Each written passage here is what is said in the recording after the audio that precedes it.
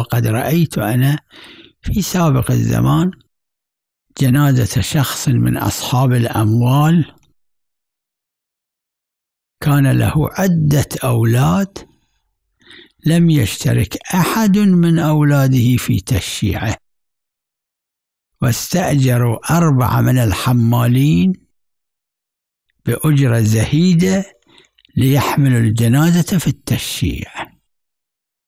هذا الشخص هو الذي هذا الميت هو الذي كان في الدنيا قد حصل على أموال ضخمة وكثيرة وهو الذي خلف هذه الأموال للوارث وله أولاد متعددون.